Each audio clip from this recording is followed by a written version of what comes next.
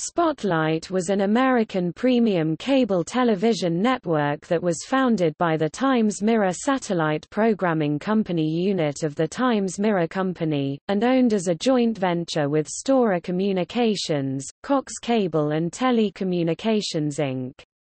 TCI the channel's programming focused mainly on theatrically released motion pictures, with the only scheduling deviation being of monthly specials previewing films set to air on the channel.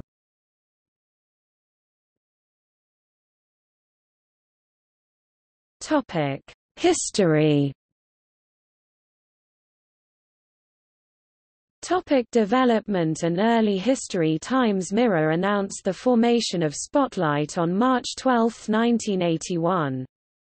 Although it was intended to act as a direct competitor to existing movie-focused premium channels Cinemax, the Movie Channel and Home Theater Network, Spotlight was primarily developed to compete with dominant pay cable service HBO, which, like Spotlight, was owned by a media company with cable system interests, as parent company Time Inc. had owned the American Television and Communications Corp., eventually integrated into Time Warner Cable and later Charter, the second largest American cable television provider at the time format-wise, HBO's programming contrasted from Spotlight, with a general interest format that mixed movies with specials and some limited original series within its lineup.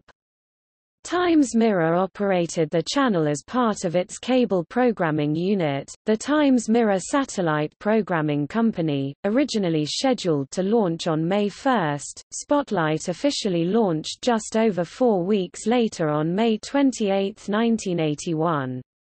It was initially available primarily on cable systems operated by Times Mirror's Dimension cable television unit. Dimension originally planned to replace HBO with Spotlight on most of the provider's 51 systems nationwide, although it would instead replace competing general interest service Showtime throughout most of its service areas. In December 1981, Times Mirror sold minority interests in the channel to Telecommunications, Inc. TCI, Cox Cable and Storer Communications, the three companies, then also among the nation's largest cable providers, mainly served as investors in Spotlight and added the channel to their respective systems. Times Mirror remained managing partner, handling business and programming operations. For its first year of operation, Spotlight transmitted its programming for 12 hours each day, from 12 12 p.m. to 12 a.m. Eastern Time.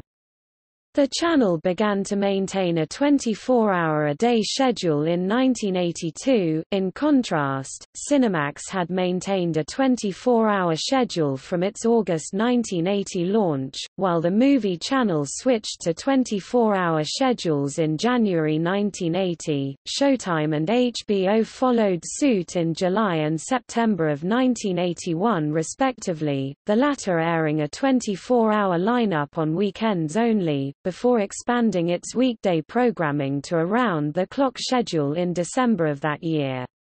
At its peak, Spotlight had 784,000 subscribers throughout the United States, comparatively less than HBO, Cinemax which both had around 13 million subscribers, Showtime and the Movie Channel which both had around 7 million subscribers.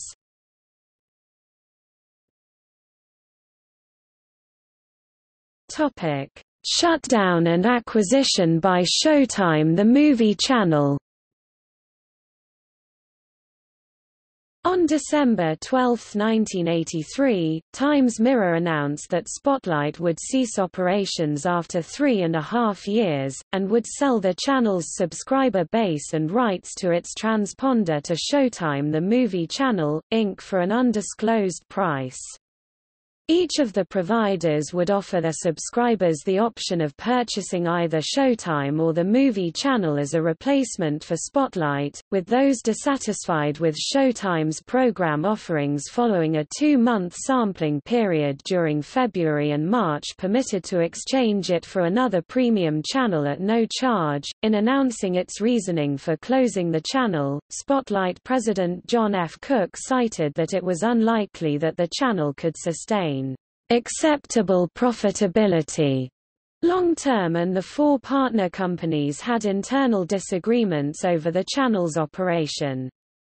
In addition, Spotlight had suffered from relatively limited national carriage throughout its existence as it was available exclusively to cable systems owned by Dimension, Storer, TCI and Cox, limiting the number of potential subscribers to the service.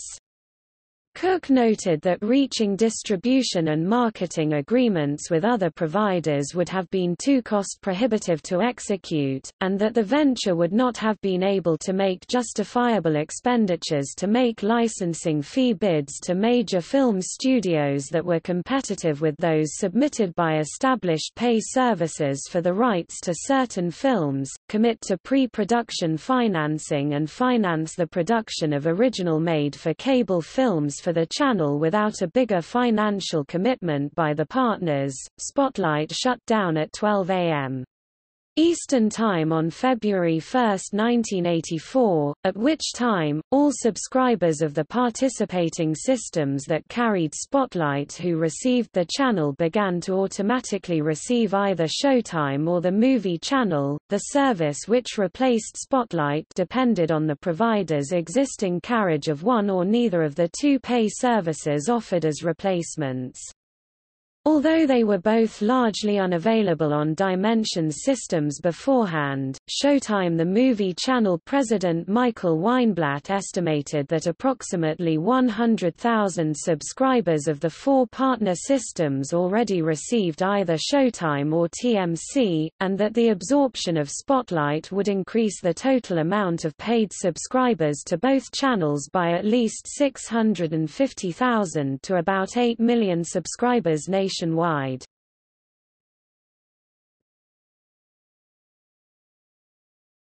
Topic: Programming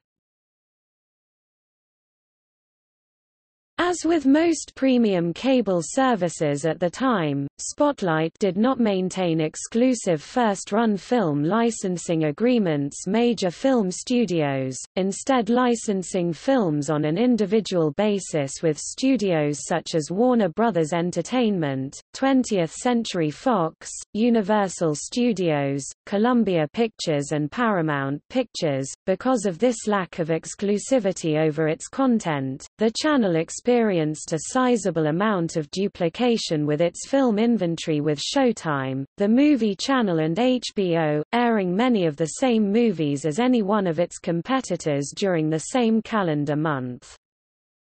The channel's prime-time movie schedule initially maintained a flip-flop format, in which one film would be broadcast at 7 p.m. and another around 9 p.m. on one evening and with the two films being shown in reverse order the next night, with the late movie from the previous night being shown first. Singer Robert Goulet served as Spotlight's initial on-air spokesperson, appearing in some of its early promotional imaging campaigns, and also hosted the channel's launch. Spotlight's network identifications and feature presentation bumpers throughout its existence utilized a big band-type theme, with a sequence featuring an animation that zoomed into the O of the Spotlight logo, accompanied by a whooshing sound.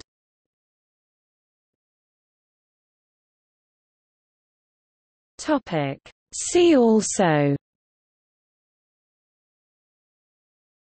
Home Theatre Network, a competing family-oriented premium channel owned by Group W Cable, which operated from 1979 to 1985. Prism, a regional premium channel that served the Philadelphia, Pennsylvania metropolitan area, which operated from 1976 to 1997. ONTV, an over-the-air subscription television service, which operated from 1978 to 1985. SelecTV, an over-the-air subscription television service, which operated from 1979 to 1985.